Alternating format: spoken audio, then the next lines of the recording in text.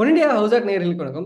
CSK versus RCB இதுதான் இந்த IPL சீசனோட முதல் மேட்சாக இருக்குது ஸோ சிஎஸ்கேவுல நிறைய இன்ஜுரி கன்சர்ன் அப்படி இப்படின்னு டெய்லியும் ஒரு ஒரு அப்டேட் வந்துட்டு இருக்கு. இதெல்லாம் கடந்து சிஎஸ்கே எப்படி பர்ஃபார்ம் பண்ண போகிறாங்க ஆர்சிபி ரெண்டாயிரத்தி எட்டுக்கு அப்புறம் முதல் முறையாக சேப்பாக்கில் ஜெயிக்க போகிறாங்களா அப்படின்னு பல விஷயங்கள் இருக்கு. இதெல்லாம் பற்றி பேசுறதுக்காக கிரிக்கெட் விமர்சகர் ஐயப்பன் நம்மளோட இணைஞ்சிருக்காரு. வணக்கம் சார் வணக்கம். ஓகே ஸோ இந்த மேட்ச் வந்து பயங்கர ஒரு ஹைப்பாக வந்துட்டு இருக்கு சிஎஸ்கே பற்றி ஒவ்வொரு நாளும் ஒரு அப்டேட் வந்துட்டு இருக்கு அது அப்டேட் வந்து நல்ல விஷயமா இருந்தால் பரவாயில்ல. இன்னைக்கு யார் இன்ஜுரி ஆவாங்க அப்படின்னு ஒரு பயத்திலேயே சிஎஸ்கே ஃபேன்ஸ்லாம் இருக்கிற மாதிரி தான் அப்டேட் வந்துட்டு இருக்கு ஸோ இந்த இதெல்லாம் தாண்டி எப்படி இருப்பாங்க? ஃபர்ஸ்ட் இந்த இன்ஜுரி யார் இருக்காங்க அப்படின்றதெல்லாம் பேசிடலாம். அவங்களுக்கு பெரிய சிஎஸ்கேக்கு லாஸ்ன்னு பார்த்தீங்கன்னா பதிரனா. ஓகே பவுலிங்ல ஏன்னா சிஎஸ்கே வந்து எப்பவுமே ஒரு பேட்டிங் பவர் பேக் உள்ள unit actually Conway loss obviously fulfil பண்ண முடியாத ஒரு பிளேஸ் தான். அதுக்காக ஒரு ரச்சின் ரவீந்திரா இருக்கிறார் நம்ம சொல்லி சொல்லலாம். பட் பத்திரானா லாஸ் வந்து ஒரு பெரிய லாஸ்ன்னு சொல்லி சொல்லணும். ஏன்னா சிஎஸ்கேக்கு பார்த்தீங்கன்னா வந்து ஒரு டெத் பவுலிங் ஆப்ஷன்ஸ் அப்படிங்கிறது வந்து இந்த டீம்ல இல்ல. அதை வந்து லாஸ்ட் இயர் வந்து கம்ப்ளீட்டா ஃபுல்ஃபில் பண்ணது பார்த்தீங்கன்னா பத்திரானா தான் வந்து. அவரோட புது பவுலர் இருந்ததுனாலையும் அந்த அவரோட ரா ஃபேஸ்னாலையும் வந்து நிறைய பேட்ஸ்மேன் அவரோட லென்த்தை ப்ரெடிக்ட் பண்ண முடியாதனாலையுமே அவர் சக்சஸ்ஃபுல்லா இருந்தாரு. மற்ற பவுலர்லாம் நைன் நைன் அண்ட் ஆஃப் இருந்தப்போ அவரோட செகண்ட் பார்த்தீங்கன்னா எயிட் தான் இருந்தது. ஸோ அதுவே ஒரு சிஎஸ்கேக்கு பெரிய அட்வான்டேஜா இருந்தது. டூ ஹண்ட்ரட் ஸ்கோர்லாம் அவரோட அந்த லாஸ்ட் ஃபோர் ஓவர்ஸ் தான் மேட்சை மாற்றி சிஎஸ்கே பக்கம் நிறைய மேட்சை உள்ள இழுத்தது. ஸோ பதிரனா லாஸ் பெரிய லாஸா இருக்க போகுது சிஎஸ்கேக்கு அதை எப்படி ஃபுல்ஃபில் பண்ண போறாங்க? அந்த தீபக் சகர் தாகூர் முகேஷ் சௌத்ரி தேஷ்பாண்டே இவங்கள வச்சு பதிரானா பிளேஸை எப்படி ஃபுல்ஃபில் பண்ண போறாங்க? அப்படிங்கறது தான் சிஎஸ்கேவோட வெற்றி இருக்கு. அடுத்த இன்ஜுரி பாத்தீங்க அடுத்த அடுத்த இன்ஜுரி பாத்தீங்கன்னா கான்வே ஆமாம் ஒரு ஒரு போன வட்டம் வந்து ஜெயிச்சதுல மெயின் புல்லர்னு பாத்தீங்கன்னா Conway. Almost six fifty run score பண்ணியிருந்தாரு. யாருமே எதிர்பார்க்கல இவ்வளவு பெரிய ஸ்கோர் அடிப்பார் அப்படின்னு சொல்லிட்டு. நீங்க லாஸ்ட் ஃபோர் இயர்ஸ் எடுத்தீங்கன்னா சிஎஸ்கே ரெண்டு தடவை கப் அடிச்சிருக்கு. அந்த சிஎஸ்கே ரெண்டு தடவை கப் அடிச்சதுக்கும் பார்த்து காரணம் என்னன்னு பாத்தீங்கன்னா சிஎஸ்கேவோட ஒரு பேட்டிங் ஓப்பனிங் பேருன்னு சொல்லி சொல்லலாம். கண்டிப்பாக டுவெண்ட்டி ஒன்ல கப் அடிச்சப்ப பாத்தீங்கன்னா வந்து ருத்துராஜ் ஃபேப் அவுட் ஸ்டாண்டிங் ஆடி இருப்பாங்க எல்லா சீசனும் வந்து எல்லா மேட்சஸும் பாத்தீங்கன்னா வந்து கன்சிஸ்டண்டா ஸ்கோர் பண்ணியிருப்பாங்க ஆறு ஓவருக்கு ஐம்பது ரன் இல்லை ஆறு ரன் கிட்ட விக்கெட் லாஸ் ஆகாம கொண்டு போயிடுவாங்க. அதுக்கப்புறம் எயிட் ஓவர்ல இருந்து ஆக்சிலரேட் பண்ணி பின்னோட கடகடன்னு அடிக்க ஆரம்பிச்சிருவாங்க. ரெண்டு பேருமே ஃபைவ் ஹண்ட்ரட் பிளஸ் ஸ்கோர் அடிச்சு ஆரஞ்சு கப் யார் வாங்குறாங்கங்கிற மாத்தி மாத்தி போட்டிலாம் இருந்தது. ஸோ அந்த throughout the season batting dominate பண்ணி ஜெயிச்சிட்டோம். டூ தௌசண்ட் டுவெண்ட்டி த்ரீ பார்த்தீங்கன்னா ஃபேப் பிளேஸ்ல கான்வே வந்தாரு. கான்வே வந்து அப்படியே அந்த ஃபேப் கொடுத்த மொமெண்டத்தை கொடுத்து ஃபேப் பாரி அதிரடியாக ஆடலனா கூட ஸ்கோர் வந்துகிட்டே இருந்தது அவர்கிட்ட இருந்து ஆப்போசிட்ல ருத்ராஜுக்கும் சப்போர்ட் பண்ணா வந்து ஒரு அமேசிங் சீசன் அமைஞ்சு கப் அடிச்சாங்க. Twenty twenty twenty three twenty and twenty two ரெண்டுமே கப் அடிக்கல. அந்த ஈவன் இயர்ஸ்ல பாத்தீங்க அப்படின்னா உங்களுக்கு பேட்டிங் பேர் சரியா அமையாத காரணம். அதுல டுவெண்ட்டில பாத்தீங்கன்னா வந்து ஃபேபும் வாட்ஸனும் ஆடி இருப்பாங்க அதுக்கப்புறம் ருத்ராஜ் அந்த கடைசி ஃபேக்கட்டில் தான் வந்து சேர்ந்தாரு. அதுக்கப்புறம் பாத்தீங்கன்னா டுவெண்ட்டி டூல பாத்தீங்கன்னா ருத்ராஜ் இருந்தாரு. பட் ஃபேப் போன ஆர்சிபிக்கு போனதுனால வந்து பேட்டிங் பேர் உத்தப்பா அப்படின்னு சொல்லி நிறைய பேர் வந்து மாறிக்கிட்டே இருந்தாங்க. அது ஒரு சரியா பேர் அமையல. கான்வே வந்து பின்னாடி தான் வந்தார். கான்வே கொஞ்சம் சீசன் மேட்சஸ் தான் ஆடினாரு. ஸோ சிஎஸ்கேவோட மெயின் டூ கீ பாயிண்ட்ஸ் வந்து இந்த இதுல வெற்றியில் அடங்கியிருக்குன்னு சொல்லலாம். கப் அடிச்சதுல ஒன்று வந்து ஓப்பனிங் பேர் இன்னொன்று வந்து பதிரானா ரெண்டுமே சிஎஸ்கேக்கு இப்போ இல்ல. கான்வேயோட பிளேஸை வந்து ரச்சின் ரவீந்திரா ஃபுல்ஃபில் பண்ணிடுவாரா அப்படின்னு கேட்டா வந்து நம்ம டு வெயிட் அண்ட் சி ரவீந்திராக்கு அந்த பொட்டன்ஷியல் இருக்கு. அவர் சிக்ஸ் ஹண்ட்ரட் ரன் ஸ்கோர் பண்ணுவாருன்னு கேட்டா கண்டிப்பா அஹ் இல்லைன்னு தான் சொல்லணும்.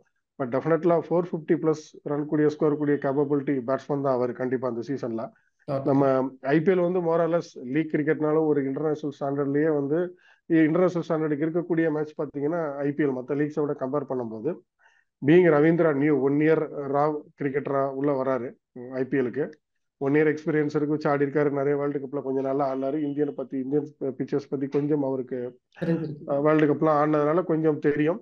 But Chepauk track slow track அவருக்கு சப்போர்ட் பண்ணுமா கான்வே அந்த மாதிரி அவர் ஆடிடுவாரா அப்படிங்கறத வந்து நம்ம வெயிட் பண்ணி தான் பார்க்கணும். பட் அவர் ஃபோர் ஃபிஃப்டி பிளஸ் ஸ்கோர் அடிக்கக்கூடிய எல்லா கேப்பபிலிட்டியும் உள்ள பேட்ஸ்மேன் சிக்ஸ் ஹண்ட்ரட் பண்ண முடியாது நம்ம சொல்லலாம் சுயர் ஷாட்டா சொல்ல முடியலனா கூட ஃபோர் ஃபிஃப்டி பிளஸ் அடிக்கக்கூடிய பேட்ஸ்மேன் ஸோ அதை அவர் டெலிவரி பண்ணா கூட போதும். ருத்து ஆப்போசிட் எண்டில் பார்த்துக்குருவாரு ஃபோர் ஃபிஃப்டி அடிச்சாலே வந்து இந்த சீசன்ல வந்து சிஎஸ்கேக்கு பெரிய ஒரு பிளஸ் தான் சொல்லி சொல்லலாம் ஓகே ரெண்டு இன்ஜுரி பத்தி பேசியிருந்தீங்க. கான்வாய்க்கு வந்து ரவீந்திரா இருக்காரு.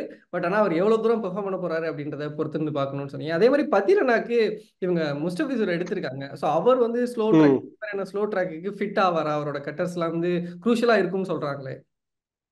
அது பெரிய அட்வான்டேஜ் தான். ஆனா பிளேயிங் லெவல்ல அவர் இருப்பாருன்னு கேட்டாதான் பெரிய டவுட்னு சொல்லணும். முஸ்தபிகர் வந்து ஸ்லோ ட்ராக்ல வந்து ஒரு பெரிய கிங்னே சொல்லி சொல்லலாம். அவர் பர்டிகுலர்லி அவர் அந்த லாஸ்ட் ஓவர்ல படிக்கக்கூடிய கட்டரை வந்து ப்ரெடிக்ட் பண்ணி அடிக்கிறது ரொம்பவே கஷ்டம்.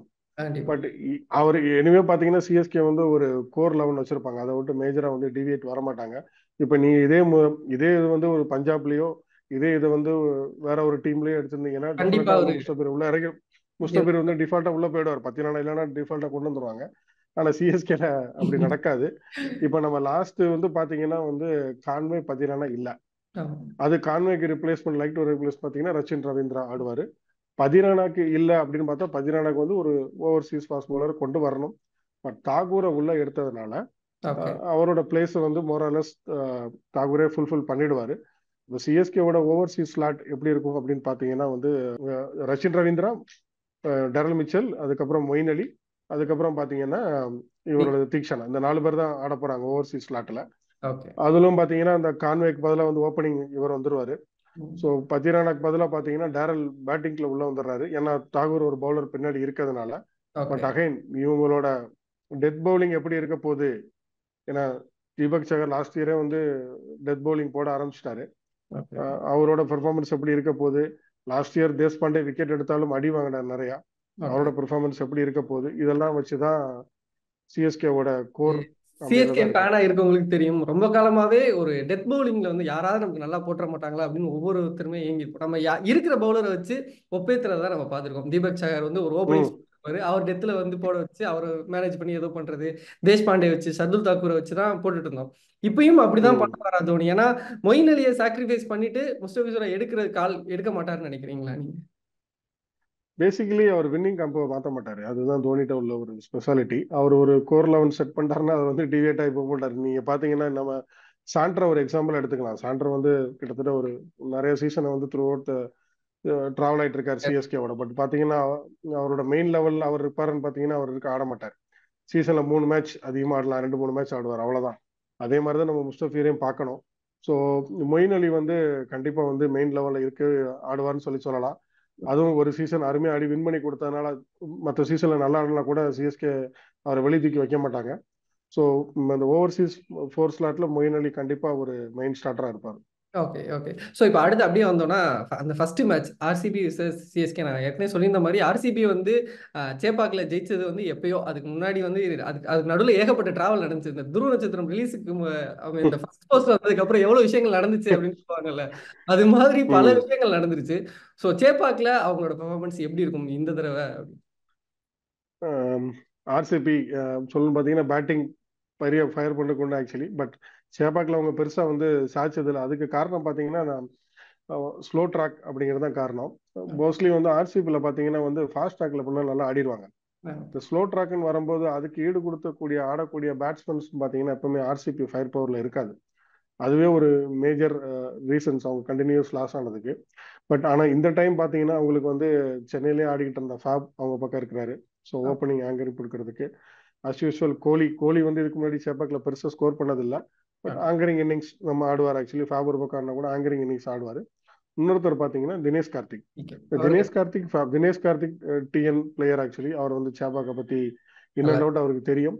ஃபேப் அதே மாதிரி தான் ஃபேப்புக்கும் so Faf and Dinesh Karthik ஆர்சிபியில் ஆடுறது அவங்களுக்கு ஒரு பெரிய ப்ளஸ் சேப்பாக்கில் இதை விட பார்த்தீங்கன்னா மேக்ஸ்வெல் வந்து எப்பவுமே அவர் வந்தோடனே அடிக்க போவார். ஸ்லோ ட்ராக்ல எப்பவுமே அவர் அடிக்க போவதுனால ஈஸியாக அவரோட விக்கெட்டை ஜடேஜா கழட்டிடுறாரு. ஜடேஜாவோட கோடு பண்ணியா தான் இருக்கிறார் மேக்ஸ்வெல். அது வந்து இந்த தடவையும் தொடர்பான்னு கேட்டிங்கன்னா ஸ்லோ ட்ராக் இப்போ நம்மளோட சேப்பாக்கில் ரெண்டு ட்ராக் போடுறாங்க. ஒன்று பேட்டிங் ட்ராக் ஒன்று இன்னொன்று வந்து ஸ்லோ ட்ராக் ஒன்று போடுறாங்க. லாஸ்ட் சீசனில் ரெண்டுமே மிக்ஸ்டாக மாறி மாறி வந்தது.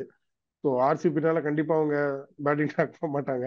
ஏன்னா ஆர்சிபி மாதிரி தான் வந்து ஃபேட்டிங் பேர் கொண்ட யூனிட் ஸோ ஸ்லோ ட்ராக் போகிறதுக்கு உண்டான வாய்ப்பு தான் ஜாஸ்தி.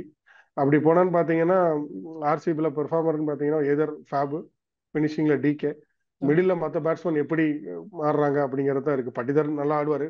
பட்டிதர் எப்படிங்கிறது இருக்கு. நம்ம கிரீன் அண்ட் மேக்ஸ்வெல் பெர்ஃபார்மன்ஸ் அன்னைக்கு அவங்க ஆடிட்டாங்க அப்படின்னா match will go their side but as usual ஆடல அப்படின்னா வந்து match will turns towards CSK side இது பேட்டிங் சைடில் மோர் ஓவர் பார்த்தீங்கன்னா ரெண்டு டீமுக்குமே நல்ல பேட்டிங் ஃபயர் பவர் இருக்கு. எதிர் சிஎஸ்கே ஆகட்டும் இல்லாட்டி வந்து ஆர்சிபி ஆகட்டும். ஆனால் வந்து ரெண்டு டீம்லேயுமே வந்து பிரச்சனை பவுலிங் அன்னைக்கு வந்து யார் மேஜர் நல்லா பவுலிங் போடுறாங்களோ எந்த சைடு வந்து அப்பர் ஹேண்டில் வந்து பவுலிங்ல ஸ்லைட் அட்வான்டேஜ் எடுக்குதோ அந்த டீம் தான் வெற்றி சான்சஸ் அதிகம். அது வந்து ஆர்சிபி பண்ண போதா இல்லாட்டி வந்து சிஎஸ்கே பண்ண போதா அப்படிங்கிறத வந்து டு வெயிட் அண்ட் வாட்ச் தான். ஸ்லோ ட்ராக் போட்டாங்க அப்படின்னா வந்து மேட்ச் நம்ம இப்பவே சொல்லிடலாம் சிஎஸ்கே தான் ஃபேவரா இருக்க போகுதுன்னு சொல்லிட்டு. ஏன்னா மூணு ஸ்பின்னர் ஆடுறாங்க சிஎஸ்கேல திக்ஷன் ஆடுறாரு மொயின் மொயின் அலி இருக்காரு. சரிங்களா? ஸோ ஜடேஜா இருக்கிறாரு. ஸோ மூணு ஸ்பின்னர் இருக்கிறதுனால அதுவும் particularly they will give all troubles அதுவும் இந்த கேமரன் கிரீன் அதுக்கப்புறம் மேக்ஸ்வெலுக்கு வந்து ரெண்டு எண்ட்லயும் இருந்து பயங்கரமா ப்ரெஷர் போடுவாங்க. தீக்ஷனாவும் இவரும் ஜடேஜாவும். மொயின் அலி போல கூட கூட கொஞ்சம் இவங்க அடிச்சு ஆடிடுவாங்கன்னு சொல்லி சொல்லலாம். பட் இவங்க ரெண்டு பேர் ஓப்பனிங்ல தீக்ஷனா கொண்டு வந்துட்டு மிடில் ஜடேஜா வச்சாங்க அப்படின்னா கோலிக்கு ஆடுறதுக்கும் கஷ்டமா இருக்கும். மிடில் பார்த்தீங்கன்னா மேக்ஸ்வெலுக்கும் ஒரு செக் வைக்கிற மாதிரி இருக்கும். So all depending upon the track batting track போட்டாங்கன்னா match towards RCB side slow track போட்டாங்கன்னா eventually match will be and CSK side இப்படி தான் இருக்க போகுது. ஓகே நீங்கள் சொன்ன மாதிரி சிஎஸ்கேல ஒரு நல்ல ஒரு ஸ்பின் வச்சிருக்காங்க. அப்படியே பார்த்தோம்னா ஆர்சிபி சைடில் வந்து ஃபாஸ்ட் பவுலிங் நல்லா வச்சிருக்காங்க. அல்சாரி ஜோசப் இருக்காரு சிராஜ் இருக்காரு. ஸோ அவங்க ரெண்டு பேரோடது வந்து எவ்வளோ எஃபெக்டிவாக இருக்கும்னு நினைக்கிறீங்க சென்னையில்? ஏன்னா அங்கே கன்சிடரபிளி பெரிய ஸ்பின்னர்ஸ் யாரும் இல்லை அப்படின்னு சொல்லலாம். பெரிய ஸ்பின்னர்ஸும் இல்லை. லாஸ்ட் டைம் பார்த்தீங்கன்னா ஆர்சிபி வந்து சேப்பாக்கில் ரொம்ப சக்ஸஸ்ஃபுல்லாக இருந்தாங்க. அந்த கோவிட் சீசன் அப்போ பார்த்தீங்கன்னா வந்து நிறைய மேட்ச் வந்து ஒரு மூணு நாலு மேட்ச் சிஎஸ் சேப்பாக்கில் ஆடிட்டு இருந்தப்போலாம் மும்பை கூட எல்லாம் பெரிய வெற்றி ஜெயிச்சாங்க. அது காரணம் பார்த்தீங்கன்னா அந்த ஹர்ஷல் பட்டேலோட போட்ட ஸ்லோ பால்ஸ் ஏன்னா ஹர்ஷல் பட்டேல் பேசிக்கலி வந்து அவர் மோரல் ஒரு மாடர்ன் ஏஜ்டு ஸ்பின்னர்னே சொல்லி சொல்லலாம். அவர் நிறைய வேரியேஷன் ஸ்லோ பால் போடுறதுனாலையும் கட்டர்ஸ் போடுறதுனாலையும் வந்து அவர் நிறைய சக்ஸஸ்ஃபுல்லாக இருந்தார் சேப்பாக்கில் அந்த மாதிரி ஒரு பவுலர் ஆர்சிபியில் இல்லை. ஒரு அதுக்கப்புறம் பார்த்தீங்கன்னா நீங்கள் வந்து சேப்பாக்கில் உங்களுக்கு பெரிய ஃபேஸ் பவுலிங் பெரிய ஒன்றும் வேலை இல்லை. அன்லஸ் அதர்வைஸ் நீங்கள் வந்து ஏன்னா ஸ்விங்காகிறதுக்கு வாய்ப்புகள் ரொம்ப கொஞ்சம் கம்மி. மும்பை மாதிரி நமக்கு வந்து பெரிய ஃபாஸ்டாக் விக்கெட் வரும்போது இருக்க போகிறதில்ல மேஜராக பார்த்தீங்கன்னா ஸ்பின் தான் இங்கே வந்து மெயின் மேஜர் சப்போர்ட் பண்ணும். அந்த விதத்தில் பார்த்தீங்கன்னா ஆர்சிபி வந்து சிஎஸ்கே கம்பேர் பண்ணும்போது ரொம்பவே லேக்காக இருக்கிறாங்க. சபாஸ் அகமது பாலா வந்து மயங்க் டக்கரை கொண்டு வந்திருக்கிறாங்க. அவர் எந்த அளவுக்கு பெர்ஃபார்ம் பண்ணுவார்? கரண் சர்மா உள்ள ஆடுவாரா? அவங்களோட ஸ்பின் எந்த அளவுக்கு வந்து இல்லை லோம்பரர் ஆட வைப்பாங்களா? அவரோட ஸ்பின் போலிங் எப்படி இருக்கும்? இதெல்லாம் பொறுத்து தான் ஆர்சிபி இருக்கும். பட் ஸ்பின் டிபார்ட்மெண்ட்ல பார்த்தீங்கன்னா சிஎஸ்கே வந்து ரொம்பவே ஹையா இருக்குன்னு சொல்லலாம் ஆர்சிபியோட அதர் சைடு ஃபாஸ்ட் பவுலிங்ல வந்து they have decent bowling line up actually Siraj அதுக்கப்புறம் வந்து ஜோசப் இருக்காரு இல்லாட்டி வந்து ஃபர்கூசன் இருக்காரு இல்ல டாப்லி பட் என்ன இருந்தாலும் வந்து பாத்தீங்கன்னா வந்து அன்னைக்கு மேட்ச்ல வந்து மேஜரா வந்து இந்த ஸ்பின் போடக்கூடிய ஒரு எயிட் டு டென் ஓவர்ஸ் தான் மேஜர் டிசைடிங் ஃபேக்டரா இருக்க போகுது. அந்த வகையில சிஎஸ்கேக்கு ரொம்பவே அட்வான்டேஜ் அதிகம். Unless otherwise RCB batting fire power வந்து பிளேசிங் கன்ஸா ஆடினாங்க அப்படின்னா மேட்ச் டுவர்ட்ஸ் டர்ன் ஆகும். அதர்வைஸ் பாத்தீங்கன்னா மேட்ச் வந்து சிஎஸ்கேக்கு தான் ஆதரவா போகும். ஏன்னா இவங்க டுவெல் ஓவர்ஸ் இந்த ஸ்பின்னை வச்சே ten Dhoni ten over twelve ten overs கண்டிப்பா முடிச்சிருவான்னு சொல்லலாம். மொயின் அலியை கண்டிப்பா டூ ஓவர்ஸ் போட வைப்பாரு. அவர் நல்லா போட்டா ஃபோர் ஓவர்ஸ் போட்டு டுவெல் ஓவர்ஸ் முடிக்க வைக்கலாம். இல்லைன்னா கூட டென் ஓவர்ஸ் வந்து அந்த மேட்சே வந்து ஸ்பின்னை வச்சு மாத்திடுவாரு அந்த டென் ஓவர்ஸ் தான் மேட்சோட ரிசல்ட் டிசைடிங் ஃபேக்டராக இருக்க போகுது. ஓகே ஸோ நீங்கள் சொன்ன மாதிரி சிஎஸ்கேக்கு இன்ஜுரி கன்சர்ன்ஸ் இதெல்லாம் இருந்தாலும் ஃபர்ஸ்ட் மேட்ச்ல அவங்களுக்கு பெரிய லெவலில் இந்த இதெல்லாம் பிரச்சனையாக இருக்காது அப்படின்றத அந்த ட்ராக் இந்த விஷயங்கள்லாம் பார்க்கும்போது தெரியுது. ஸோ இதெல்லாம் தாண்டி சிஎஸ்கே வர்சஸ் ஆர்சிபி எப்படி இருக்க போகுது? ஆர்சிபி அந்த ரெக்கார்டை பிரேக் பண்ண போகிறாங்களா அப்படின்றதெல்லாம் பொறுத்திருந்து பார்க்கலாம். Thank you sir thank you so much thank you thank you